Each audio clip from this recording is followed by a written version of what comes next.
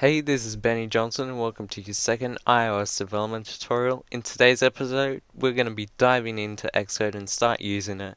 But before I do this, I just want to make sure that all my viewers are on the right page because in the last episode, I went through all the requirements you actually need to start developing iOS applications and hopefully you're running Mac OS X Lion and you've already got Xcode installed. If you don't, go back to my previous tutorial where I detailed how to do that and then come back to this one. So as you can see, I've actually got Xcode in my dock and I know most people will not have that already. So to go ahead and launch Xcode, just go over to your launchpad in Lion and you want to select the icon with the hammer and blue print. So go ahead and select that because that's Xcode and that will launch it up. And I recommend you that you dock it like I have just for convenience because you will be using it quite often. So once you launch up Xcode, you'll be presented with this dialog. It says, Welcome to Xcode. You have four options. Create a new Xcode project. This just basically is obvious. It creates new project so you can work on your um, iOS application or Mac application. Connect to a repository, learn about using Xcode, and finally go to the Apple Developer Portal.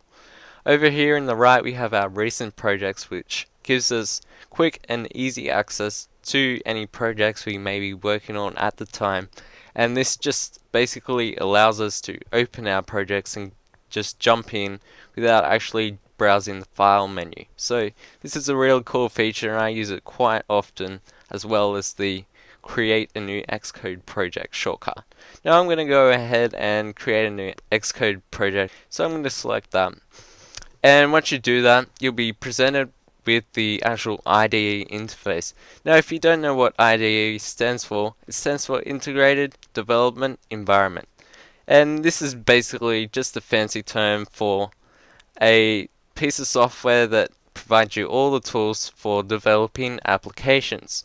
Now this provides us tools for designing, coding, and testing our applications. And that's basically what IDE is. Now, the first thing I noticed when I actually went ahead and used Xcode was it looks very familiar to iTunes. It looks very similar.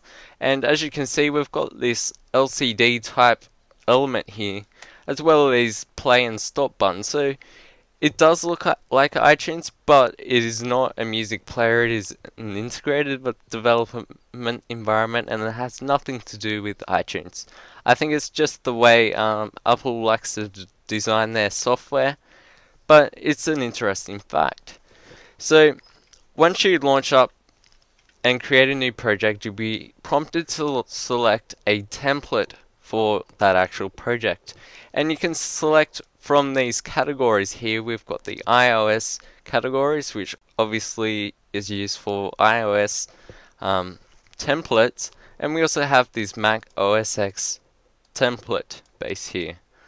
So we will not be using the Mac OS X templates because this is an iOS development tutorial, but you can go check that out if you want. But most of the time we'll be using the iOS application template folder and all these templates basically um, you'll use them for different projects but most of the time we'll be using this single view application. Now you're probably wondering uh, what are these templates and what's the difference between them so I'll go through them. So the first thing is the master detail application and I'm just going to give you an example of an application on iOS that actually uses that format and the best example I can think of is the actual settings application. You select from a menu then you drill down into further and further detail. And you can notice that it actually does look like an iPad settings screen. You have, you know, your categories here and you, then you'll have your subcategories and so on and so forth. The OpenGL game I actually haven't checked out, but basically I presume it is just a template to get you started creating iOS games. And we may go into this later in the future, but for now we're going to leave that one alone. Next we have the page-based application and the best example I can give you for that is the actual iBooks application and if you can recall you when you turn the page it actually does that nice curl visual effect and that's probably the best example I can give you for that template. Next we have the single view application as I said we'll most of the time we'll be using this but this basically just gives us a simple starting point for creating our projects. Down here we have our tabbed application and the best example I can give you for that is the actual music application where you can use those tabs down the bottom to select artists, albums and songs. Next we have the utility application and Another example I can give you for this is the actual weather application, you know, on the iPhone and iPod Touch that details the actual what the weather is, but you can also go into information. Down the bottom there's like a little icon that you can click to actually edit where you get that weather data from. And finally we have the empty application which just basically gives you a very very, very basic template. It's basically empty and you have to build it from start to finish. But we will not touch that. So as I said, we're going to be using the single view application probably 90% of the time. So what I'm going to do is select this and go next. Next you'll be prompt prompted for some details. Now it asked me for the product name. So product name is just basically a fancy word for whatever you're going to call the project. So to start off with, we're going to do a really cool application called Hello. No, it's not Hello World, it's Hello Universe because everyone does Hello World. So I thought I might do something different. And make sure you don't have any spaces in there because it doesn't like it. Next we have the company identifier and this is probably the most complex option it kind of threw me off when I first saw it. But basically, it's just an identifier to uh, make sure that the applications with the same name uh, don't cross each other. They can be um, different.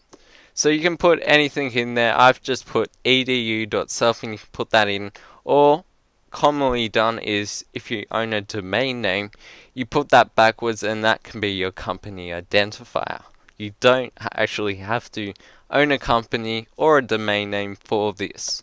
Next we have class prefix and this is just basically some text that is introduced um, before the actual file names of our projects. So it just extends the file names of our projects. I can't really show it off to you, but you can type something in there. It doesn't really affect your project. Next we have our device family choice and we can select iPhone, iPad and universal application. Most of the time I'm going to select iPhone. You can do iPad and I will be doing iPad later in this series. Next we have use storyboards and you want to untick that for this application but I will be going through that.